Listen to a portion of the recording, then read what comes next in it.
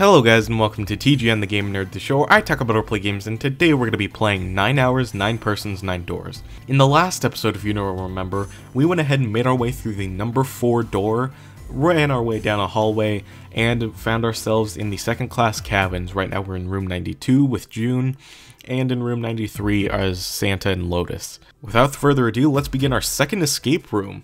Alright, so there's a few things that I want to mention first before I quickly get into this. First of all, I forgot to mention this in the previous episodes for some reason, but the reason that I waited like a year to actually get around to doing this Let's Play is because I wanted to do it for Let's Play number 18 for a very specific reason. The digital root of 18 is 9. 9 hours, 9 persons, 9 doors. So you can kind of see why I'd want to do that. Second of all, this game has a lot of extra dialogue for interacting with stuff. I don't know if I'm going to be able to see it all. So if you have a favorite interaction or favorite thing that you want to be examined, uh, then let me know in the comments below. We will most likely return to a bunch of these escape rooms, so I'll be sure to check the comments and see if there's anyone who has any dialogue that they want me to go back and see so that when we go to that room again, then we can get the funny dialogue. Anyways, now it's time to actually start solving the puzzle. First is this uh, book of matches right here. Uh, it's a box of matches. There are matches inside, obviously. Hey, do you think we could burn down that door at the end of the hallway with these matches? Not gonna work, huh? Yeah. They're matches. You could probably light something small on fire with them. Junpei looked down blankly at what he was holding, then up at June. Oh yeah, how's your fever? You feeling better now? Yes, I'm feeling fine. June certainly looked fine. Junpei held his hand on her forehead for a few seconds. It seemed her fever really had gone down. Are you worried about me? Hey, come on, it's not like that. Junpei did his best to act as though he didn't care. His best wasn't very good. I guess you haven't changed at all, Jumpy. She giggled. By the way, Jumpy? Hmm? How did you end up here? What do you mean? I told you earlier, didn't I? There was a man with a gas mask when you got home at night. You inhaled some white smoke and passed out. When you woke up, you were on D-deck. Yeah, that's it. But is that really the truth? What? Jumpy, are you hiding something from me? No! Why would I? Well, if you think about it, this is awfully suspicious. I mean, why would two childhood friends bump into each other in a place like this? Hey, I could ask you the same thing. Are you hiding something? What would I hide? Well, I don't know. Anything. I mean, you're the one hiding it. How would I know? You mean, like, the number of men I've dated? Junpei's heart stumbled over itself. Do you want to know? He had to admit he was a little curious. Don't worry. She smiled at him. Only 18. Huh? Times zero. Yeah, I guess I just haven't met Mr. Right yet. Yeah, that's in a different DS game. June looked a little embarrassed and scratched the back of her head in a desperate attempt to seem nonchalant. Junpei coughed quietly in much the same way. Anyway, I'm not hiding anything. Just like you, Jumpy. When I woke up, I was on D-Deck. Well, you do have a point. I mean, why did Zero pick us? We haven't seen each other since elementary school. June nodded, and for a few moments she, she had the faraway look of someone deep in thought. Look for what connects the victims. That will lead you to the culprit. Do you remember Seven saying something like that? Yeah, I do. So? Well, that's what I'm saying. I think this must have all had something to do with a classmate of ours. You got any ideas who it might be? No, nothing. No. Oh. Well, if it had something to do with the school, then it could, then it could be any one of our teachers, or maybe the principal. Or the janitor or the lunch lady. No, I can barely remember any of them. Yeah, I know. Junpei went back to searching, feeling unpleasant and, and confused. Elementary school. Elementary school. Was there anything strange that had happened in elementary school? As he searched the room, he continued to rack his brain. I always love these uh, types of conversations that you get in the middle of the escape rooms. Uh, we're about to have one right now. This isn't a painting. Is it a map? It looks like a map of the ship's interior. Oh, this is a great find. I think it'll be really useful. Let's take it with us. Is now, it is now possible to use the map screen. Map screen. The map screen can only be viewed during the story sections. It is entirely different in function from the bird's eye view mode. While on the map screen, you can examine a map of the ship's floor plan, which you will acquire over the course of the story. Touch down, menu to open the menu. If you touch map while in the menu, you'll be taken in the, to the map screen. While you are there, you can scroll around the floor plan with the control pad or the stylus. Touching the green parts of the floor plan will allow you to see a bird's eye view for that room. Junpei took one last look at the map, then folded it up and slid it back into his pocket. June looked up as he closed it. This ship is bigger than I thought. Yeah, it's probably around 900 feet long. Must be one of those fancy cruise ships. Of course, it doesn't really look like a cruise ship. Everything in here is really retro. Even if it's some sort of style choice, there's just too much. Do you remember what Zero said? On April 14th, 1912, the famous ocean liner Titanic crashed into an iceberg. After remaining afloat for two hours and 40 minutes, it sank beneath the waters of the North Atlantic. Do you think that maybe this boat and the Titanic have something to do with each other? Hmm, that's a good point. I doubt he would have mentioned it if there wasn't a reason. Junpei took a moment to look around the room. Do you think this boat is a replica of the Titanic? A replica? Yeah, you know, like a copy of the actual boat. Who on earth would make something like that? Fans. Crazy Titanic fans. No way! Do you even know how much money that would take? No idea. But all they've got to do is break even, you know? Break even? Yeah. They could use it as a cruise ship. Climb aboard a piece of history, sail around the world in the, resurrect in the resurrected Titanic. Hell, with marketing like that, they'd probably have more customers than they'd know what to do with. Do you really think people would want to ride on a ship with such an ominous past? It's the site of the worst accident in history. Over 1,500 people died. I wouldn't be surprised if you'd get cursed just for going. A curse, huh? Jumpy, do you believe in that sort of thing? You know, curses and stuff? Nah, they're a load of crap. Sorry, but I can't really say I believe in that kind of stuff. Tact was not one of Junpei's many better qualities. what about you? Nah, I guess that's kind of a dumb question. Yes, I do believe in curses. In fact, I think it was a curse that sunk the Titanic. What? A curse sank the Titanic. The curse of the Egyptian mummy. Junpei couldn't understand how June had maintained a straight face to say that. Supposedly, the Titanic carried the mummy of the of the priestess Amun-Ra, which was stolen from a pyramid. And they say that the mummy had a history. Everyone involved with it died mysterious deaths. Come on, I'm sure you've heard of it before. Those who open the coffin will forever be cursed. Haven't you ever heard of that one? So you're saying the Titanic sunk because of that curse? That's right.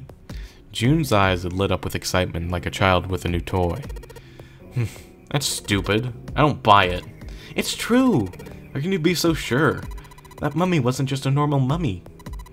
It was really mysterious, totally unbelievable. What's so unbelievable about it? Well, supposedly she was really pretty. Pretty? Yes, but she was a mummy. That's right. She wasn't all shriveled up or rotten or anything. She looked just like she was alive. Oh, I get it. It's that thing, I don't remember the name, uh, where your body turns into some kind of wax. If a dead body is put in the right so sort of environment, the fat in it turns into something kind of like candle wax, right? And, uh, yes, saponification, but that's not what it was. Huh? That's not it. She wasn't wax. And then what, what is it? They say that she was frozen. What? Frozen? That's right. The whole body was frozen solid. You know how a human body is more than 60% water? Well, all of that water was frozen. The story says that from the time of its discovery all the way through to when it got put on the Titanic, and even though it was carried through the desert, her body never melted. June and Junpei talked a little more and then went back to their investigation. But even as they did, his mind went back to what she'd told him. Ice that wouldn't even that wouldn't melt even in the desert. Could such a thing really exist? No, even if it did, it wouldn't really be ice anymore, would it? The more he thought about it, the more his head hurt, like he'd eaten his ice cream too fast. So, yeah, let this be an introduction, because there's some, like, insanely wacky stuff that goes on in these games. So, be prepared for that. Anyways, we got a key! A key! Do you think it's the key to the dresser? It's a key we found in the dresser. Maybe I can use it on another similar dresser. So with all the stuff we've gotten in these rooms, we're gonna go ahead and head back outside to the main room, and if we click on this door, Jumpy, where are you going? Um, I was thinking of going over to Lotus's room. Why? What do you mean, why? I'm just gonna go check up on him. Is there something wrong with that? Well, no. Come back soon. Sure thing. I'll leave the rest to you. Sure. Leave it to me. Alright, off to the other room and we can head on over to the other room. And you'll notice one thing very quickly is that it's pretty much the same thing, just uh, mirrored. We have the weird painting thing that I've neglected to mention, this vase, and we head out on here, and this is right where the uh, where the Book of Matches was, but instead we have a candle. A candle with a candlestick. This might come in handy. It's a candle, Junpei. It's on an iron candlestick. I know what a candle is, Lotus. That's a pretty big candle. If we light it, it'll probably get really bright. Candle on a candlestick. If we light this, it'll give us some uh, light. So we get to combine things again. Combine the matches with the candlestick. I know. If we use these matches to light the candle... So you lit the candle. I'm sure it'll be a light in dark places when all the other lights go out. Lit candle, I can feel the heat it's putting out. Actually, it's pretty hot. I'd kind of like to set it down. Lit candle. It's hot and I don't want to hold it anymore. So now that we back out, this area right over here is pretty dark. Uh, awesome! With the light of this candle, maybe we can take a look around over there. But it gets so hot when I hold it. I want to put it down. Well, why don't you set it on top of the dresser? It's flat there. At least it won't fall over. Oh, right. Good idea. Now everything's lit up. Hey, got pretty bright. Now we can look around a little.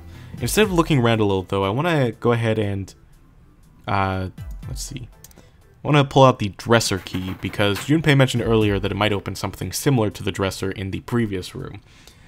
Let's see if this... Yes! Yes, it worked! Open it up, and we got this weird plate right here. That's a strange design. Is it ceramic? It doesn't look like there are any puzzles in it. A tile with a black and white pattern on it. So this might look a little bit familiar to something from earlier. Anyways, we want to make our way over to the other side of the room. And in this bed right here, we have a curtain. A curtain, huh? Well, it's got all these metal rings, probably so you can hang it from something, you know? Yes, but it doesn't look like a normal curtain. The way it feels, I think it's probably waterproof, which would make this a shower curtain. A uh, shower curtain, huh? It's a folded up shower curtain. Damn, that thing's big if you open it up. Oh, there's a hole, like a bug ate through it or something. Oh, you're right. Think maybe it was a peeping Tom? I'll bet Lotus would make sure the perv hurt. If I catch him, you won't hear a peep out of that jerk. I'll knock him into Tom Morrow. Get it? That's Tom Much. it's a shower curtain. The jury's still out on whether or not it was the work of a pervert, but there's a hole in it. There's it's a shower curtain. There's a hole in it. Alright, so... Oh, huh? Hey, what the hell? It just got dark all of a sudden. Maybe the candle got blown out. We should go see. We head on over to the candle, and look here. There's a candlestick covered in melted wax on top of the dresser. Hey, what's this? The top of the candlestick looks kind of weird. You're right, it's all bumpy. The part of the candlestick where the candle goes looks like a key. A key, huh? I think I ran into a lock it couldn't open earlier. Part of the candlestick is a key, apparently. Guess I'd better try and find the lock it goes to. So, we didn't uh, investigate this earlier, but right here is a cabinet. Well, this is a display case, or display case, excuse me. Check it out, these plates and shit look really expensive. You wanna take a look? So we use the key. Let's see if the candlestick key will do anything. Yes! It opened! Alright, put pull that shit open. And there we go, we got another piece similar to the first one. Hey, don't you think the pattern on that tile looks like something? Yeah, I think I saw it somewhere. Maybe we need to put that tile in the frame. Maybe. It's a tile with a black and white pattern on it. I think I'm supposed to insert it insert it somewhere.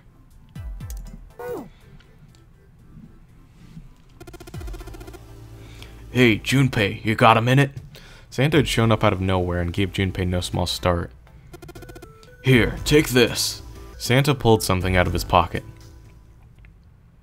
It looked like a bookmark, and a four-leaf clover on it. What's this?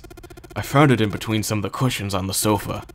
Pretty sure it ain't gonna be any help to us, but uh, I figured you might as well hang on to it anyway.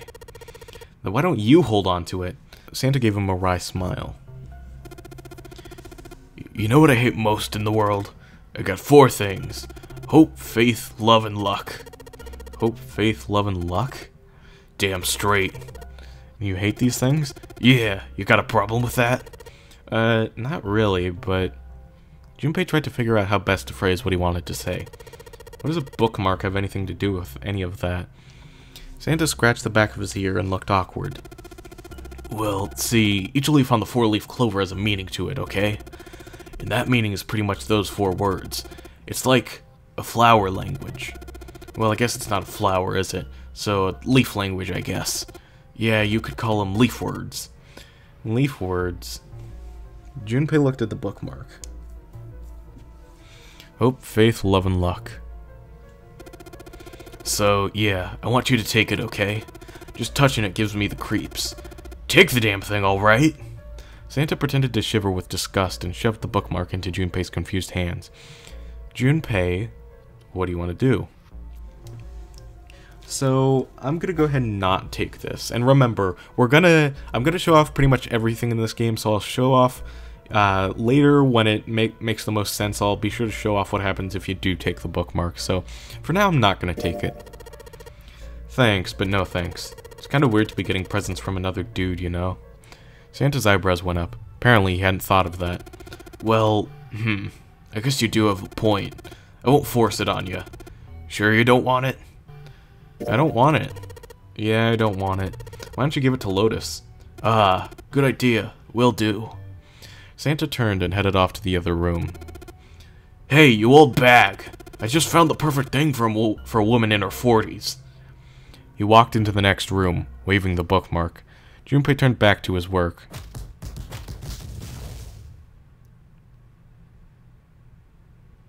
And heard a faint sound from the other room, the sound of bones breaking. I'm just gonna pretend I didn't hear that. Junpei returned to his search with renewed vigor. So we get a pretty comedic scene if we don't actually hand that over. Now, the shower curtain, if we head over here, there's an extra door that leads to the bathroom. And uh, right here we have an area that's perfect for hanging up a shower curtain. there's a curtain rod running along the ceiling. Let's put that shower curtain on those hooks. So if we go ahead and turn around, we can go ahead and pull this curtain. Let's try spreading the curtain. And right in here, we see something interesting. There's a hole in the curtain. If I look at it from a ways back, I can see a single tile. Oh, right from here I see what the tile is. Looks like it's fifth from the top, third from the right.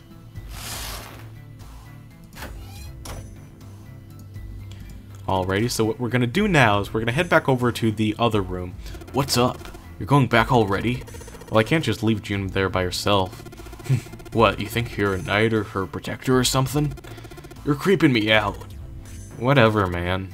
I'm going. Uh, and you'll remember that, uh, most of these puzzles are based around uh, finding one thing in one room and then the solution to that thing being in the other room. We found the matches in one room and the candlestick in the other. We found the key in one room and the locked dresser in the other.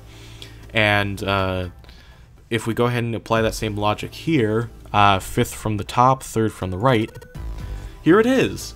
Yes, this one's loose. I think I can get under this with my nails, and yes! So funny story, actually. Uh, let me just see if there's dialogue. Who would have thought this would be hidden in the bathroom, huh? You did a good job finding it. So one side is a design like the rest of the bathroom tiles, and the other side is a black and white design. I think I've seen that pattern somewhere before. And this is the tile I pulled off of the bathroom wall. Looks like one of the one of the bathroom I think that's supposed to say bathroom tile, but it says bathroom titles. Whoops.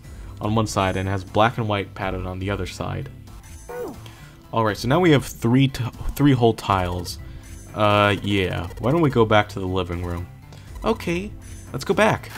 So funny story, I was clicking on that bathroom wall to investigate, and like just out of pure luck and random chance, I just so happened to click on the correct tile and I just got it out of nowhere, and I had no idea that that wasn't how I was supposed to solve the puzzle. Like, I thought the dialogue was a little weird on how Junpei suddenly knew where the tile, like, which tile to pull on, but I was like, I didn't really think about it too much. And then going back through and playing through the game, I was like, oh, wait, that's... I did something too early. I do think it's really cool how you can, like, solve the puzzle early, so that if you're replaying through, you can just grab everything and go. The exit. Lotus and Santa are in the room on the other side. I'm gonna go check up on them. So now we have three tiles, and we need three tiles to finish this uh, picture right here. And there's a tile in the frame, so I guess I'm supposed to put tiles in the empty spaces. Alright, I'm gonna give it a shot. So to go ahead and solve this, go ahead and swap top right and bottom right, and then swap top right and top left. Then you just need to turn them Turn top right once, and then turn top left twice. And there you go, that's the solution. Yes, I did it! There, picture complete. And there goes the frame. What's this? What do you mean, what's this? Pretty obvious, isn't it? It's a hole in the wall. Like a hidden safe or something, you know? Anyway, let's take a look.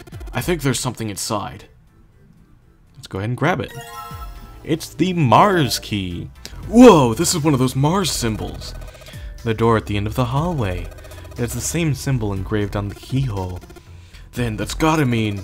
Yes, we can use this key to get through that door. Junpei messed around a bit with the key he had and looked blankly at the picture that slid down. What's the deal with this picture anyway? Santa had only been mumbling to himself, but it drew Lotus's attention. She looked at the picture and paused. I... I think I've seen this picture before. Where? In a book. There's a British biochemist named Sheldrake. He has a rather interesting theory. I saw this picture in his book. What's this interesting theory? Morphogenetic field, which relies on the theory of morphic resonance. Man, I can't deal with this. Just listening to you talk about it is giving me a headache. Santa put his hands on his head as though he were in great pain. Lotus merely arched an eyebrow in his direction and continued. It's not a difficult concept to grasp. In essence, he states that the shapes of living organisms and their behavioral patterns are transmitted through a field not visible to the eye. Uh, what part of that isn't difficult exactly? Lotus did not look pleased. Alright, how about this? Theory of the telepathic mechanism. Telepathy? Yes, telepathy. Well, perhaps not exactly telepathy, but it is close enough for a simple approximation. Santa suddenly burst into laughter. are you serious? Telepathy? Who do you think we are, kids from the 70s? I can't believe someone would actually do serious research about something like that. Yes, I agree. Lotus's response was surprisingly curt. Junpei had expected at least some conflict. I read the book, but I can hardly say I understood it. I'm in no position to defend or condemn anything it said. There's probably just someone latching onto a statistical outlier from some study and turning it into a ridiculous theory. There's no scientific merit to any of it, I'm sure. But even so, I... Anyway, I saw a picture like that one in his book. Lotus indicated the picture they'd all been looking at. After a moment, she walked up to the strange picture, examined it, and then spoke. Hey, what do you think this picture looks like? Santa answered first. What do you mean? Isn't it just, like, abstract or something like that? It's just black and white scribbles. There's no meaning there. That's it. What about you, Junpei? Does it look like anything to you? Hmm. I guess it looks like... The options we have are a man's face, butterfly, a koi, a dog, a small boat floating in a lake, or a Funyarinpa. A funyarinpa. See? I mean, this totally looks like one. Here and, and here. Junpei indicated parts of the picture that looked exactly like the other parts. After three seconds of silence, Lotus looked at Junpei. What the hell is a Funyarinpa? What do you mean, what the hell is a Funyarinpa? You mean, uh, you don't know? How the hell would I know? How could you not know? That's, that's practically blasphemous. Say you're sorry. Apologize to the Funyarinpa. Goodness, you're such a rude woman. Another three seconds of awkward silence went by. Lotus opened her mouth as she shook. Junpei, are you just screwing around? Forget it. I'm just gonna tell you. This is a dog. See? Like this. Lotus pointed out parts of the picture, and eventually a dog took shape in them. It looked as though she had a point. It was a dog. Santa also nodded in agreement. So, now we know what it's a picture of, but I don't see how that helps us. Lotus nodded and began to speak. A TV show from Great Britain did an experiment once. They took two similar pictures. Both of them were difficult to identify, initially. But once you figured out the answer, you couldn't see it as anything else. The first picture was a woman wearing a hat. The other one, well, to make it easier, let's just say it was a picture of a dog. So, their experiment... First they sent the pictures to other parts of the world where British radio and television didn't reach to Ireland, the US, Africa, Europe, etc. Then in each country they gathered a number of test subjects. All in all, there were roughly 1,000 people. Those 1,000 people were shown the two pictures and asked, what does this picture look like to you? The results, in and of themselves, were not terribly interesting.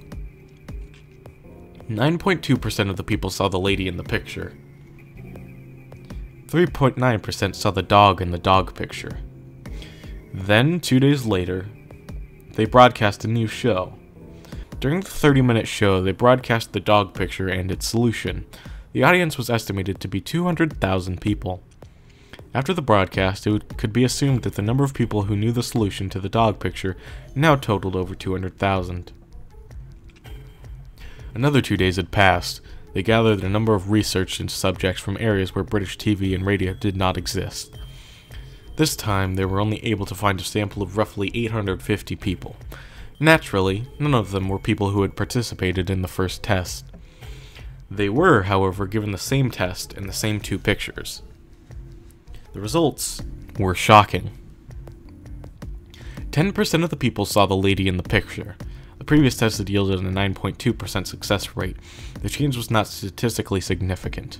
The dog picture, however, produced a very different result The percentage of people able to successfully find a dog grew from 3.9% to 6.8%, a very significant increase. So, do you understand? Do you realize the significance of this experiment? There was no way the second group could have seen the picture. They lived far away from Britain and couldn't have seen the picture. But even so, it was only the success rate for the dog picture that went up. Why? How did that happen? What does it mean? Lotus looked back and forth from Junpei to Santa and back again. Normally, calm and collected, she looked now as though she were very nearly possessed, and there was something manic about her manner. Santa took an involuntary step backward. Junpei didn't budge and stared straight back into Lotus's eyes. Does this have something to do with that field or whatever it was that you were talking about earlier? A field not visible to the eye? So if more people know the answer, then that information will pass through the field.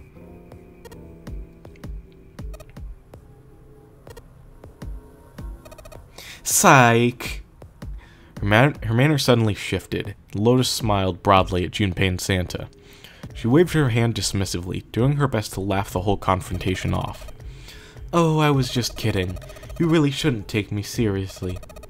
Well, I mean, the things I just told you about are true. They really did happen. But the results of that experiment really aren't anything to go by. They could have easily falsified them. In the end, I'm sure they were just in it for the ratings. They are a TV station, after all. At last, it seemed that Santa had gained control of his composure. right! Man, I gotta admit, you had me there for a minute. I, uh, really thought you were serious. of course not. Like I told you before, I'm sure it's all just pseudoscience. Oh, okay, right. Santa and Lotus laughed and gave one another jovial claps on the shoulders. Junpei, however, didn't feel so much like laughing. Something felt wrong, and unclear. Alright, enough nonsense. We've got the key, let's get out of here. Word. Lotus and Santa walked away from the picture, but Junpei stayed, staring at the picture of the dog. A field not visible to the naked eye. Morphogenetic field. The more he thought about it, the more his head hurt. Alrighty, anyways, after all that mumbo jumbo talk, let's head outside and actually go through the door. Alright, let's go to the hallway. I'll go get June. You guys go head to the door. Okay, roger that. Yes, it unlocked. Good job, Junpei. Good, now we can get going. Come on, what are you guys standing around for? Let's get out of here. That we shall. Come on, Jumpy, let's go. Alright, let's go.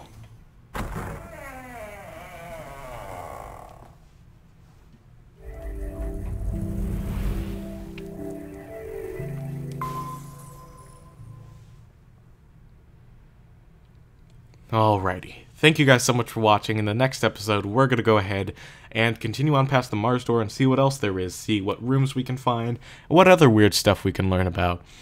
Uh, hope you guys enjoyed, and I'll see you guys next time. Goodbye!